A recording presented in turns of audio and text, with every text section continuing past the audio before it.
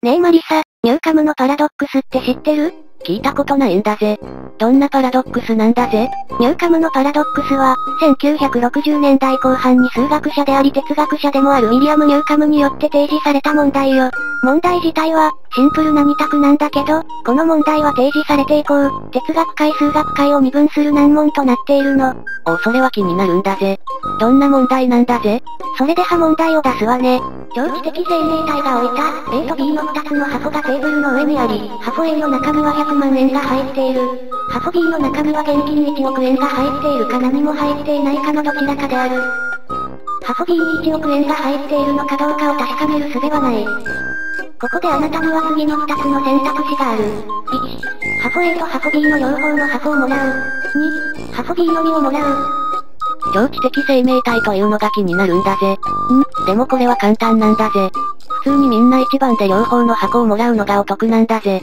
そうね、この前提だけだとその通りね。ここでもう一つ前提を付け加えるわね。ここがこの問題の大事な部分よ。この超知的生命体は、未来を予測することができて、あなたが両方の箱を選ぶと予測した場合は箱 B には何も入れず、箱 B のみを選ぶと予測した場合は箱 B に1億円を入れておく。果たして、どちらの選択肢が最大利益を得られるだろうか？超知的生命体すごすぎなんだぜ。どちらかといえば超知的生命体と友達になって、いろいろ未来を予測してほしいんだぜ。そうすれば、どのガリガリ君を買えば当たりが出るか教えてもらうんだぜ。あなた本当に好きよね。赤木乳業。ただ、超知的生命体はそれも予測して、マリサを避けると思うわ。悲しいんだぜ。時を戻そう。マリサならどちらを選ぶ？ん？両方の箱を選ぶと1億円を入れないなら、箱 B のみをもらって確実に1億円をもらいに行くぜ。別に1億円も1億100万円も変わらないぜ。逆に両方を選ぶと100万円しかもらえないんじゃないのかそうしたらみんな箱 B のみを選択して1億円をもらうと思うんだぜ。ちなみに1億円あれば、1日1本の計算で3900年間、ガリガリ君が食べられるぜ。あなた本当に好きよね。赤木乳業。確かに現実にこれが起こったら、普通の人ならそうすると思うわ。じゃあ、仮に運びの中身が101万円だと、どうする？ちょっと待ってくれなんだぜ。そうしたら両方の箱を選択するかもしれないんだぜ。なぜなの？だって、箱 B だけを選択すると確実に101万円のみ。両方を選択すると、最低でも箱 A の100万円はもらえるし、もしかしたら箱 B の101万円と両方もらえて、201万円になるかもしれないんだぜ。最低でも100万円もらえるならお得なんだぜ。確かにそうかもしれないわね。なので、101万円でも1億円でもあくまで問題は、最大の利益を得るにはどうするか、なの。実はここの問題は50年間も論争されているの。ある新聞社がアンケートを取ったところ、箱 B のみを選択するとの回答は53、両方選択するとの回答は47だったの。え、ほとんど同じ数だな。なんでなんだぜ。それは例えばこんな考え方があるの。超知的生命体はあなたが箱を選択する前に、すでに箱 B に1億円入れるかを決めて箱を設置。そのため、予測がどれほど正確でも、過去を変えることはできない。そのため1億100万円の可能性を取りに行く方が利益を最大化できる。という考え方よ。おなるほどなんだぜ。確かにその通りなんだぜ。これは哲学者のデイビッド・エドモンド博士が、提唱しているわ。一方、ケンブリッジ大学哲学科のアリフ・アーメット博士は、箱 B のみを選択するべきと提唱しているわ。彼の理論はこうよ。どの選択をしても、超知的生命体の予測は正確だから、仮に箱 B のみを選ぶと予測させて、箱に1億円を入れさせておいてから両方の箱をもらえばいい、という考え方自体もすでに織り込み済みと考えるべき。なるほどなんだぜ。そう言われれば、こっちが正しい気がしてきたぜ。仮に時間をつけるとこういった流れになるわね。1時 1B のみ取ると超知的生命体から予測される2次超知的生命体が B に1億入れ、テーブルに置くテーブルに A と B がある3時に A と B を両方を取る。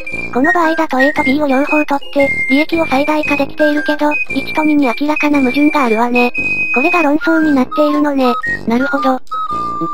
でもちょっと待ってほしいんだぜ。仮に両方取ると予測されている時は、B の中は入っていないのか？そうしたら、仮にその状態で B のみを選択した場合は、0円になるから、最低の利益になりそうだな。だから、B のみを選択した場合はリスクが高い気がするぜ。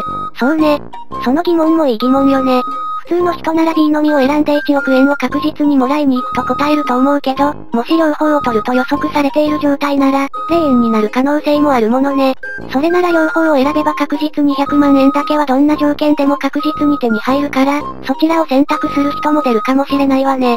ただ、その疑問も結局は、予測の正確性と過去の改変はできない、というどちらの考え方を支持するかで変わるから、正確にはかなり難しい問題よね。話が元に戻るけど、実はこのニューカムのパラドックスは今もまだ答えが出ていない問題なのよ。そうなのか？確かにこれは不思議な問題なんだぜ。仮に表を作るとするとこんな感じになるわね。なるほど、答えはわからないけど、イメージとして、これはわかりやすいぜ。この問題は専門的には訴求因果の問題、と言われているわ。つまり現在の行動態度が、過去、そしてそれに繋がる未来を変えられるか、という問題よ。深いんだぜ。